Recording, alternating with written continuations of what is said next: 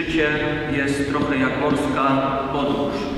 Wyjeżdżamy, żegnając się i płacząc z powodu oddalenia od osób nad drogą. Ale oto, kiedy przybijamy do drugiego brzegu, są inne osoby, które stoją już w porcie i na nas czekają.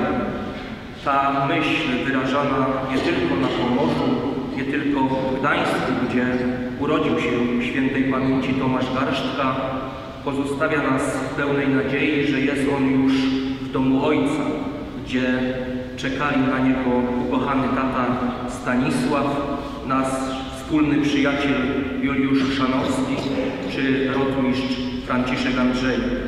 Na tym drugim ziemskim brzegu pozostawił pogrążoną w smutku rodzinę, żonę Grażynę, dzieci Joannę i Piotra, wnuczkę Jagodę, mamę, brata i nas wszystkich, mieszkańców Sułcy, swojego ukochanego miasta. Nie potrafię sobie jeszcze do końca uświadomić ogromu straty, jaka dotknęła nas w tym tygodniu. Chciałoby się powiedzieć teraz dużo, ale żadne z słów tak naprawdę nie jest na tyle bogate, by choć w części przekazać to, co teraz czujemy. W 2006 roku Słupczanie powierzyli mi zaszczytną funkcję burmistrza. Nie wyobrażałem sobie na stanowisku zastępcy innej osoby niż Tomasz Garszczka. Był samorządowcem z krwi i kości, ekspertem w obszarze oświaty, żywą skarbnicą wiedzy historycznej o Słupcy i o regionie. Przez te wszystkie lata dał się poznać jako świetny współpracownik.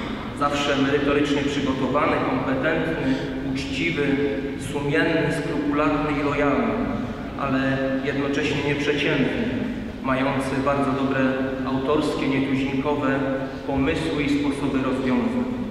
Był stanowczym i wymagającym przełożonym w realizacji powierzonych mu zadań, ale przy tym człowiekiem bardzo pozytywnym, szanującym i dbającym o bezkonfliktowe relacje.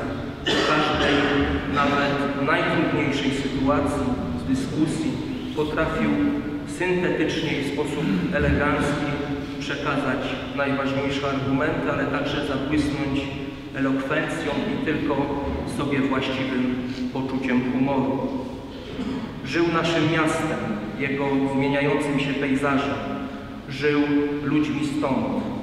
Lubił to i zarażał tym innych, delikatny, nienachalny sposób.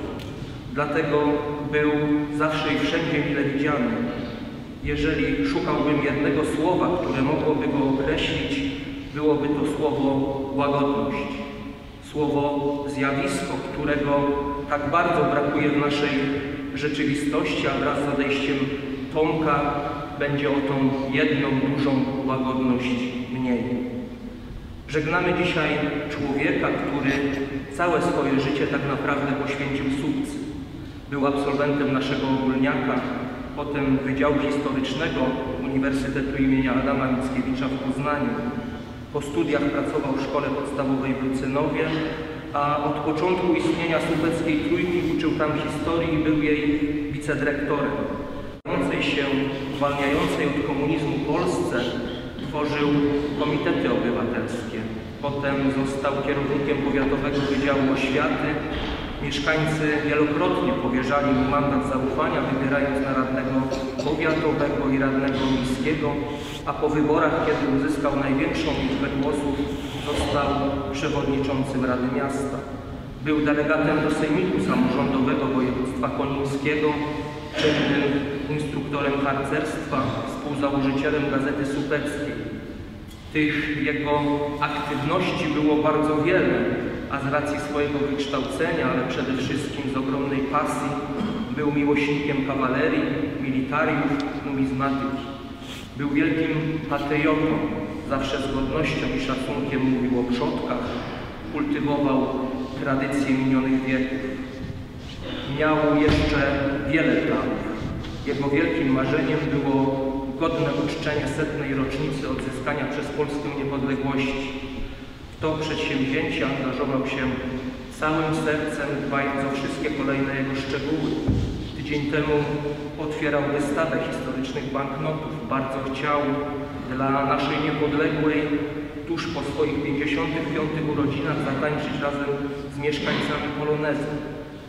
To właśnie te obchody, które stały się jego zawodowym priorytetem, ale i rodzina, przede wszystkim wnuczka Jagoda, która w dużej mierze zawładnęła jego sercem, sprawiły, że po dwukrotnie stoczonej i skutecznej walce z ciężką chorobą w jego oczach zauważyłem dawną radość i ten charakterystyczny błysk. Pomyślałem wtedy, Tomasz po tych swoich przejściach już w pełni do nas wrócił. Niestety wrócił tylko na chwilę. Żegnaj przyjacielu, spoczywaj w spokoju.